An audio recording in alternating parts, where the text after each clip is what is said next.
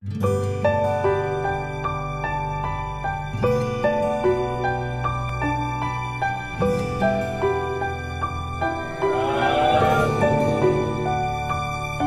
่านผู้ชมครับวันนี้หนึ่งภูกรพร้อมด้วยคณะนะครับ ได้มีโอกาสดีมาร่วมกันถวายข้าวสารนะครับ เป็นข้าวสารเลยนะครับนะครับ หลายร้อยกิโลเลยนะครับ เพื่อเป็นสิริมงคลให้กับชีวิตหนึ่งภูกรแล้วก็หลาย ๆ คนที่อยู่รอบตัวหนึ่งภูกรด้วยนะครับ โดยเราเอ่อเรามาถวายกันที่ วัดหัวเด่นนะครับ ซึ่งเป็นการถวายแด่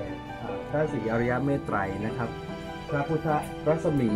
ศรีสุวรรณนะครับ ที่จังหวัดชัยนาทนะครับ ก็หวังว่าการทำบุญในครั้งนี้ หลายๆท่านที่เห็นหนึ่งภูกรอยู่ในขณะนี้ก็ขอให้ทุกคนนั้นได้รับบุญกุศลด้วยนะครับ ใครที่เป็นทุกข์ก็ขอให้พ้นทุกข์ใครที่เป็นสุขก็ขอให้สุขยิ่งขึ้นไป โดยเฉพาะใครที่ยังอาจจะอดมื้อกินมื้อหรืออาจจะต้องลำบากขัดสนอยู่ก็ขอให้บุญกุศลจากการถวายข้าวสารของหนึ่งภูกรและคณะนี้นะครับ ได้หนุนนำให้ทุกๆ คนนั้นได้มีวิถีชีวิตที่สบายดีมีสุข แล้วก็มีกินมีใช้ไม่ขาดสนไม่ขาดมือเลยนะครับ มีมากพอที่จะแบ่งปันให้กับ เพื่อนร่วมโลกใบนี้ด้วยนะครับ เอาละครับ ขอให้ทุกคนร่วมอนุโมทนาบุญด้วยกันนะครับ สาธุครับ สาธุครับสาธุ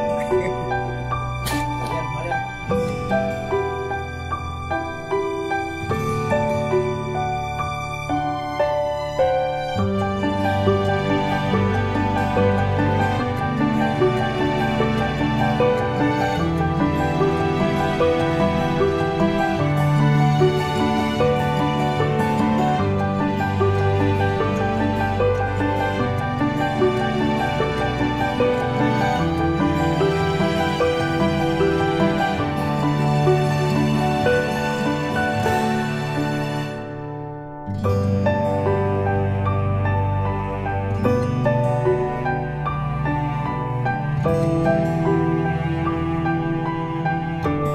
พื่อนำทรัพย์มาสร้างพระศาสนา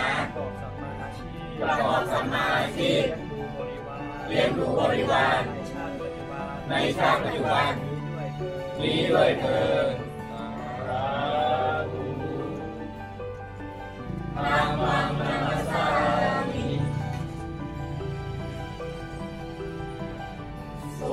ฏิปันโนภะคะวะโตสาวกสังโฆ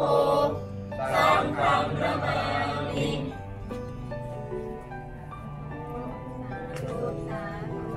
สาธุ